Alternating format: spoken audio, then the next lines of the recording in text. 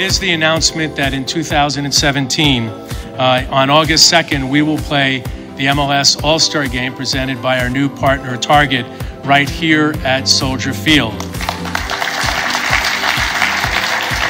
Chicago is most definitely a soccer city, which is one of the many reasons the Chicago Fire Soccer Club are honored to be the host team. This event will showcase Chicago on an international stage and highlight our city and our club's commitment to growing and celebrating our sport.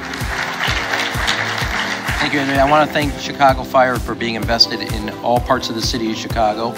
Uh, over the last four or five years, we've added about 40 to 50 soccer fields across the city of Chicago is an insatiable appetite by our kids. And Chicago Fire has been a great partner in providing only the resources, but also helping with the activities there. We have, again, feel very strongly about what we have built in terms of the soccer ecosystem and the community over the last five years or so. Um, and this allows us to engage that community at a massive level. It'll be a great rival. It'll be our best players. It'll be a fiesta of football. It'll be competitive. The fans will be into it.